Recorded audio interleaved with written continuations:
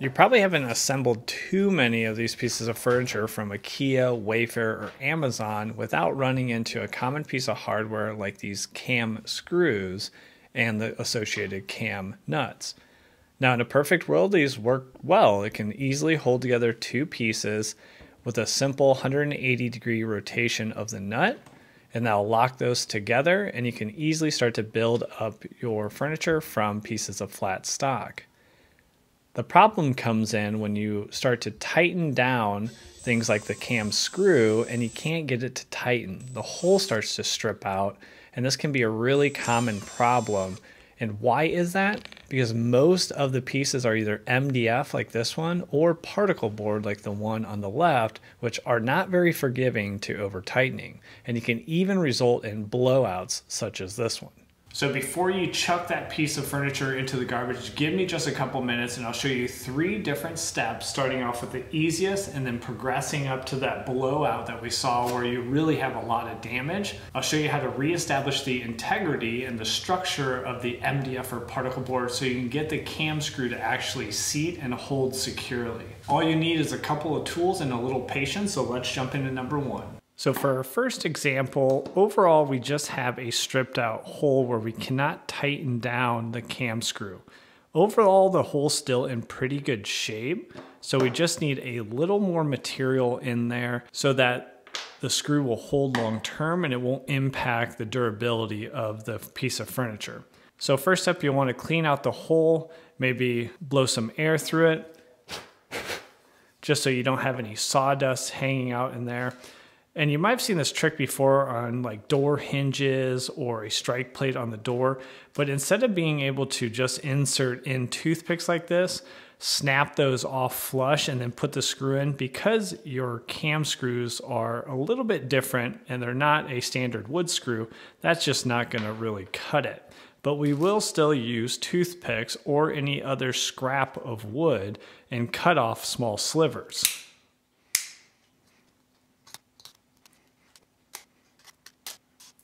So it might not seem like much, but actually I don't need much. So what I want to do is put the slivers in, and if the slivers have a tail on them that curls, you'd want to curl it out away from the hole to allow the cam screw to actually seat within the hole.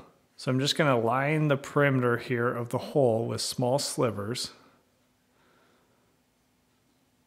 And then with some standard wood glue, I'm just going to give a couple drops inside that hole.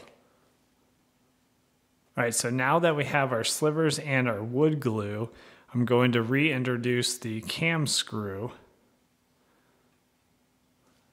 And I want to start getting it threaded by hand and then come in with the Phillips head and gently thread that into the hole. Now most of that wood glue should push down into the hole but if some comes out, no problem, we'll clean it up later on.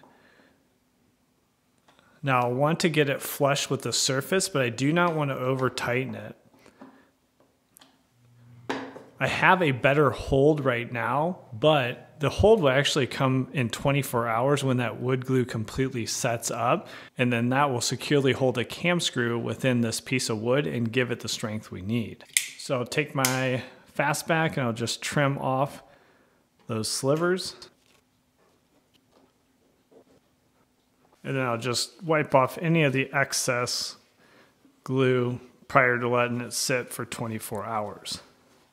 So there is method one. This is gonna work well for when you still have a pretty solid hole, but it's just stripped out. And I would let this sit for 24 hours as called out on the wood glue prior to assembling it back in the furniture to make sure it is strong and ready to go. Now, for example two, you'll remember it basically will pull right out of the hole. So the cam screw is not grabbing on anything that the threads are not able to grab onto any of the MDF. So what we'll use is dowel rods. Varying different size out there, you can get them at any home improvement store. You just want to match up the dowel rod. I want to oversize it. So I want to go substantially over the diameter of the threads for the cam screw so that I'll have new material to drill a pilot hole into. So I'll be using two different drill bits. One is a 3 8 that's sized to that dowel rod. So I'll need to bore out that hole to 3 eighths and I'll do it at the depth that's a little bit more than the threads so I don't go too far down, but I make sure that I have the depth that I need. And I'll just mark that with some simple painter's tape on each of the drill bits. Then I'll reference a good hole to know the actual hole diameter that the threads will lock into, and that is a 3 16 for this example. So we'll take that 3 8 drill bit and take your time. You don't want to go too deep. You just want to bore out that hole and not cause any additional damage. And then I'll take a little bit of the Titebond wood glue, put it on the sides and then the bottom, but really more importantly, get a nice coating all the way around that dowel that's going to be set into that hole. And now you'll either press it into place or with a light tap from a hammer, get that dowel fully seated into the hole and then once it is, we'll clean off that excess glue to make sure our surface doesn't have any glue that's going to dry on it. And now you need to let it sit for 24 hours to get a secure hold. But luckily, I've already done it with this example. Now I'll take some blue painter's tape and I just want to protect the surface as I cut off that dowel rod to not create any more damage. So now we have the piece secured to the table with a clamp and all I'm going to do is use a simple saw from a miter box I don't have any fancy flush cut saws or all the Japanese hand tools that are out there now you see. I just have this guy. Uh, it was about 20 bucks. I use it for a lot of different trim projects. And if you do want to ever reference what tools I'm using, like this saw, like the utility knife from Milwaukee. I always keep those updated. So no matter when you're watching this, you can go on our Amazon storefront and you'll see all these tools, including all the power tools, the tool belt I use, the Milwaukee packout system that I store all my tools in. And that'll just give you a quick reference in case you're needing a specific tool for a job or you're just looking to expand your tools so you can do more jobs around the house. So let's cut off this little dowel and get sanded down so then we can set a new pilot hole for the cam screw.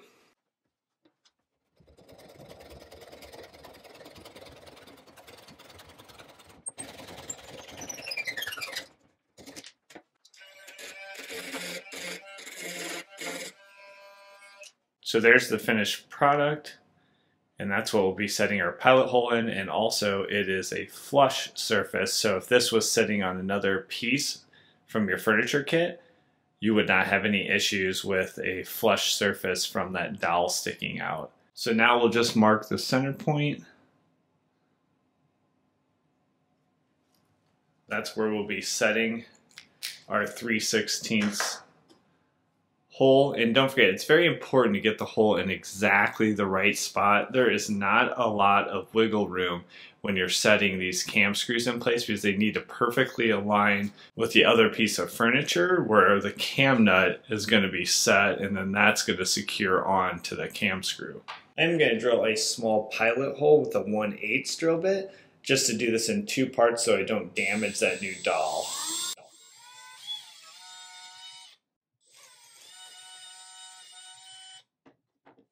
Then we'll go ahead and set our cam screw in place, making sure it's perfectly aligned. And I'll use the Phillips head, even though a lot of this damage was caused with using a drill or impact driver, it is good to just use a screwdriver so you can really feel when things are tightening up and avoid that damage in the first place. That has actually a really great hold on it. And now we have a cam screw that is secure and ready for assembly. Well, let's take a look at that final example where we had the big blowout. So here's what we're working with. These examples usually happen after the furniture's been used and you side load that cam screw enough where it it completely blows out the material and then you have a lot more damage than example one or example two. First step is we need to clean off all this loose material and get down to solid MDF or solid particle board. We'll just use a utility knife for that and then clean all that off and then I'll show you how to re-establish a surface which will hold that cam screw.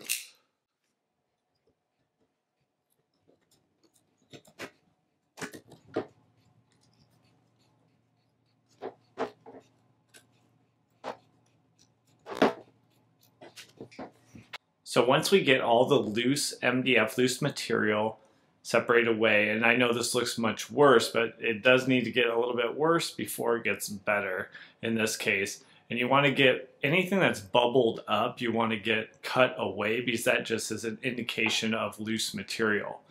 So here is the center point, and remember it's critical that we keep exact location of the original hole so what I'm going to do is I will mark that center point because we're going to add some material to the surface, but I do not want to lose the reference to where that hole should be.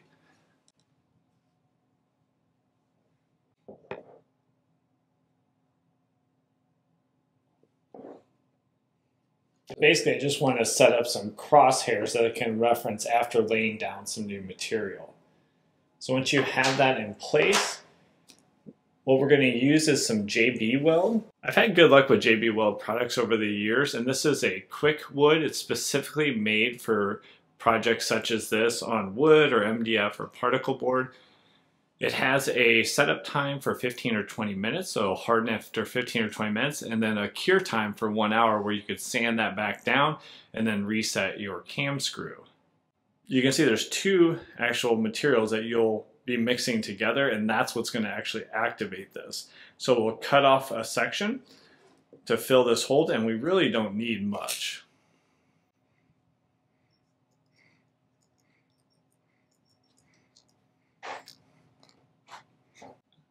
And then don't forget to put that cap back on it so it won't harden for future projects. And then you can keep that in your toolbox or out in your garage so you always have it handy. So then it is good to use some gloves while you mix this together. And then you'll just take that outer plastic coating off, set that aside, and then you'll mix this together until you get a consistent and uniform color.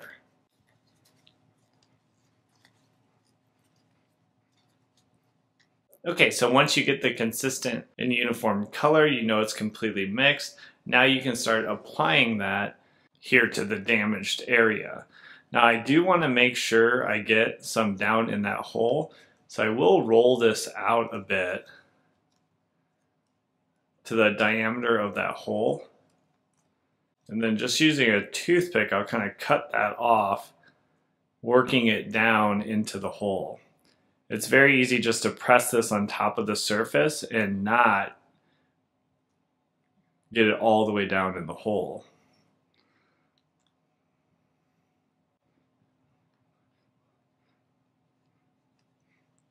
So keep working that in.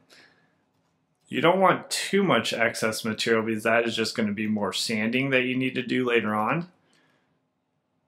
So I'll kind of roll it out with a toothpick.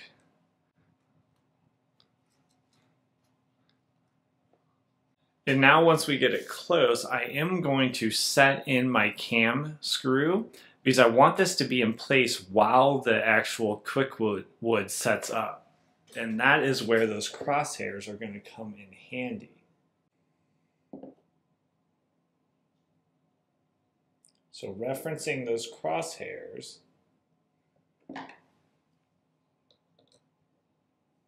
then I'll slowly thread that back into the hole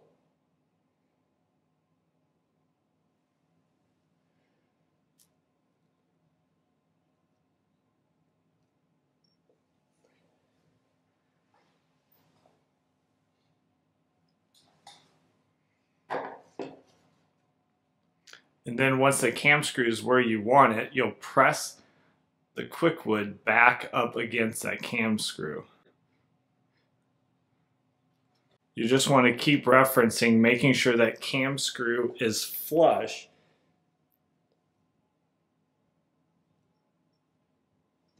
so that when everything sets up, your depth is set correctly. So that looks good. Another hack is you can use a Ziploc bag. Because this is a little sticky, a Ziploc bag just gives you a little bit of an interface where you can press down and work the Kwikwood back down, giving a smoother surface without getting it on your fingers and you're not wearing any bulky gloves.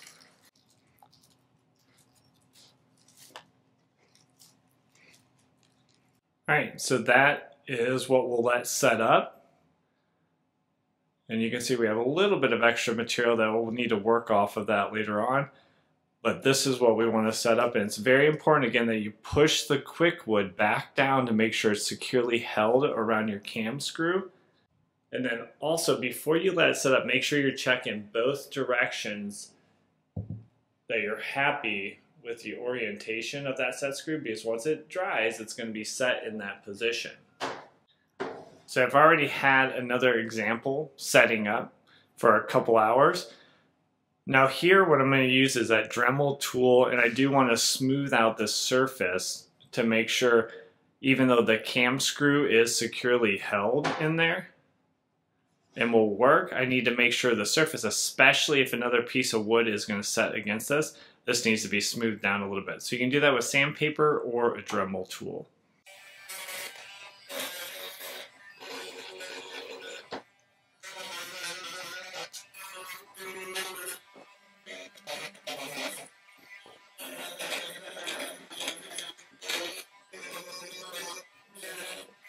So here is the finished product.